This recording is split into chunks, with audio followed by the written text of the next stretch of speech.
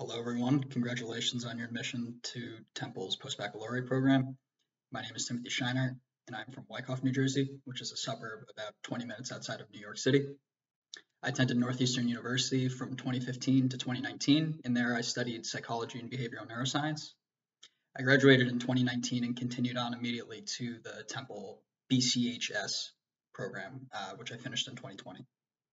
My area of interest was pre-medicine, um, so I'm now beginning my medical school journey as an M1 in uh, Nutley, New Jersey at Hackensack Meridian School of Medicine.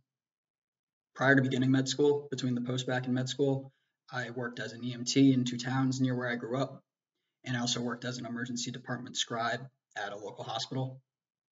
My role on the board is Northeast Regional Coordinator, and in serving this role, I hope to connect you to resources, whether it be regarding studying for the MCAT, getting through your classes in the post-bac or applications. Once you get to that point, I want to help you with your applications, whether it's targeting certain schools in the New Jersey, New York tri-state area, Massachusetts, Connecticut.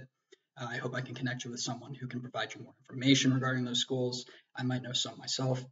Um, yeah, and I, am looking forward to meeting you, and I, I hope you feel free to reach out at any time. Take care now.